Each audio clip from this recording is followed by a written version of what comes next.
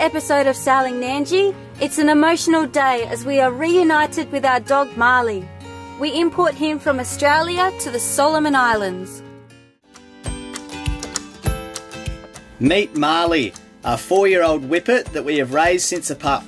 Marley has had an adventurous life, travelling around Australia with us in our bus Froth, then sailing the east coast of Oz on Nandji.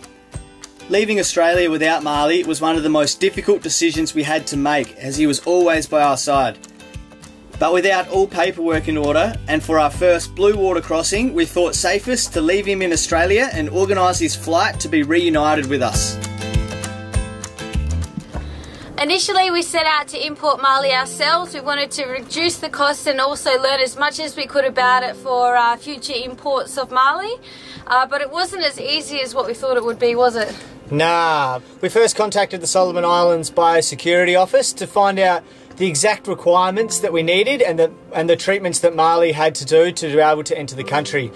But we didn't exactly get a response very quickly because they are on island time. And then when we did get a response, it was not exactly uh, correct. So we knew to for Marley to return back to Australia, he needed to have at least his C5 injections and a rabies booster. So we went ahead and organised that with the vet. The C5 injection includes vaccinations against hepatitis, distemper, canine parvovirus, parainfluenza, and bordetella bronchitis. His rabies injection was not required for the Solomon Islands but is a requirement for future countries. 30 days after the rabies injection, he also received a titre test. Prior to his flight, he was treated for tapeworm, administered ear canal drops, and washed on two separate occasions with an insecticidal rinse for fleas and ticks. He also needed to be microchipped and desexed, which he already was. We went online and tried to find the requirements ourselves and sent Marley to the vet with some forms that we found. Uh, the vet informed us that they were actually incorrect and uh, she suggested that we see a pet travel agent. Because if any of the paperwork is incorrect or if we make any mistakes, then Marley can be sent straight back. We then contacted Jetpets, and the very next day we'd received a quote and a specific requirements of everything that needed to be done for Marley's importation. Rachael from Jetpets organised Marley's flight and then we were able to organise his vet appointments from there going backwards as he needs to have them a specific time frame from the flight. So all we had to do was organise Marley's importation permit into the Solomons as Jetpets would take care of his export papers out of Australia, his crate, his flight and his final vet appointments with, uh, with their own vet in Australia. All of this was organised via email, so we couldn't be able to speak on the phone because we were in Vanuatu and we're trying to import him into the Solomons, and then Jetpets were in Australia. So it was quite difficult, only corresponding through email. But Rachael, she knew our, our unique circumstances, and she was emailing back straight away. We had an answer from our emails instantly. So yeah. it was we were amazed with how quickly they responded. We're at the airport. We came here super early. We have a few places to visit once Marley lands. And we didn't want him to be waiting very long in his um, crate. So we came down here early to work out where we need to go and what we need to do. And they're right next door to each other. And it's not actually that difficult. So we're uh, three hours early. Just got to sit around and wait now. We've uh, over in the main terminal here and we found a biosecurity guy, found the customs lady and found the guy that can issue us the airway bill. So we've rounded them all up, they all know we're expecting to see us so everything should be smooth. Looks like Marley shouldn't have to wait too long. I've found the three people who we need. There's only one officer from each department but the terminal's quite small and they're not yeah, busy. They're not busy. It should be fine. I love it when you tell him to do something and he doesn't want to do it and he looks at you and he's like, What do you love about Marley? I love the way he sits up the front of the tender and he will climb and claw over anything to get there. Don't get in his way or you'll get scratched because that's his position and he's got to be there all the time. what do you love about Marley? I love it when you're at the beach and you're throwing a stick but he needs to have the biggest stick and he can't carry it, so he's like just skull dragging it side on. uh, what do you love about Marley? Anxiously, we counted down the seconds for Marley's plane to arrive. All the months of planning were about to pay off. We got 10 minutes until he lands, and if anything's going to be on time in the Solomons, it's the airline. So we'll see how we go. Any? Hopefully.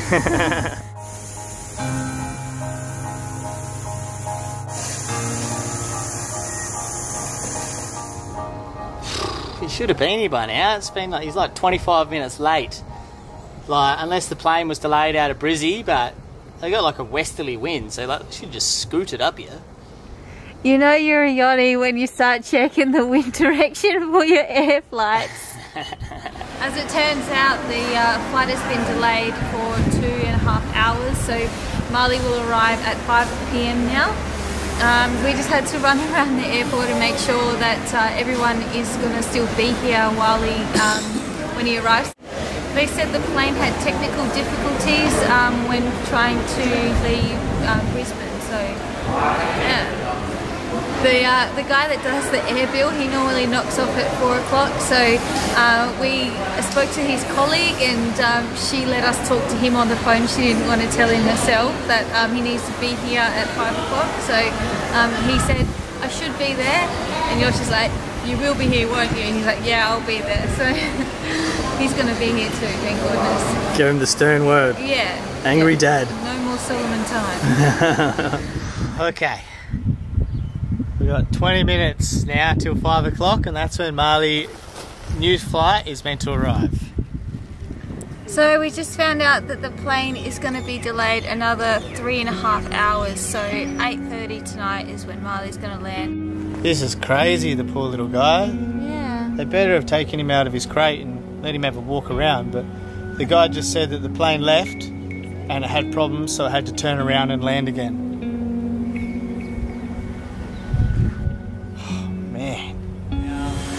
It's been delayed again to 9 o'clock. 9 So, p.m. 9 p.m. That's an extra seven hours, but he got to he got off the plane and got to stretch his legs and go to the toilet. So that's the main thing. Jetpets have been looking after him, so that makes us feel much better. And he's had plenty of water. With plenty of time to kill, we left the airport in search of some dinner, stopping at one of the many roadside stalls that appear in the evening. We got it from uh, market. In the market? Yeah. From today, this morning? Yeah. Hello! Hello.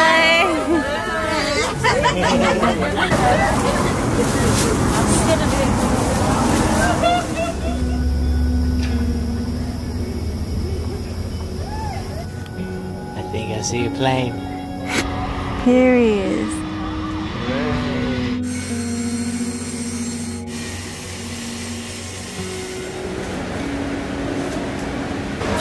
Calm. We still haven't got him yet. We're still trying to work out all the paperwork. Haven't seen him yet. I don't really want to see him until we can actually let him out. So it's pretty nerve wracking. One little mistake on the paperwork and he can get sent straight back to Australia. So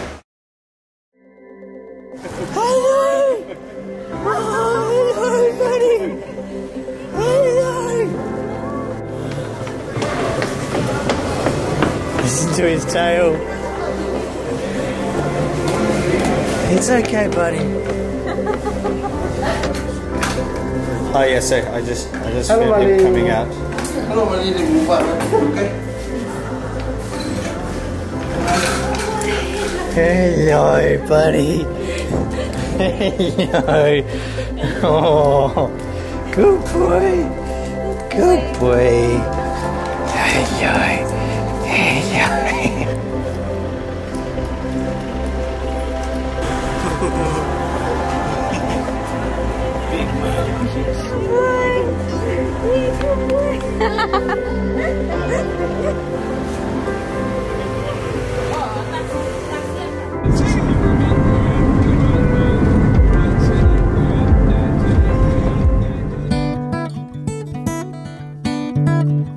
With Marley back on board, it was like he never left, remembering all his commands and old habits. Oh, there it is, buddy. Adopting back to boat life seemed simple for the little guy.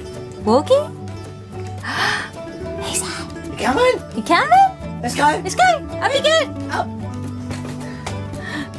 We know it's going to be challenging travelling with Marley in the future, but we are happiest all together. It's like that old saying if you want to go fast, go alone. If you want to go far, go together.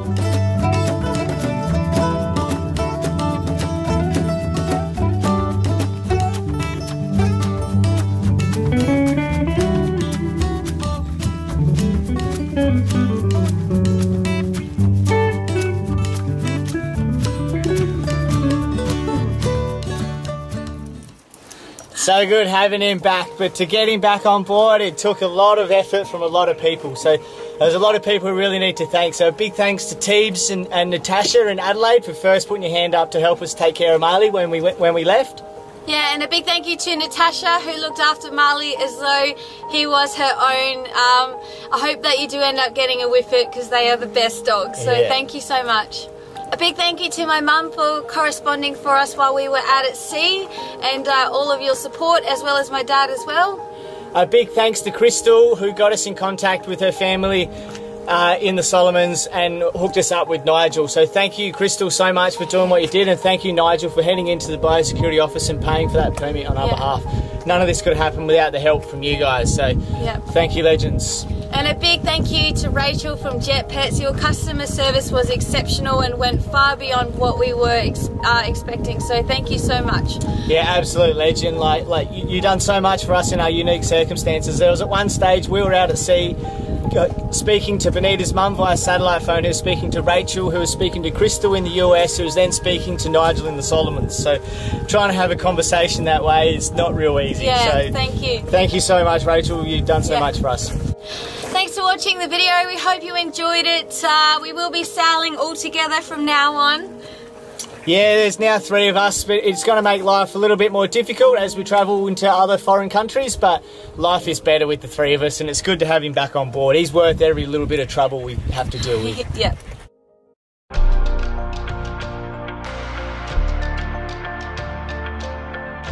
Coming up next on Sailing Nandji, it's Christmas on the boat. We visit a small village who show us some World War II relics and we trade with the locals.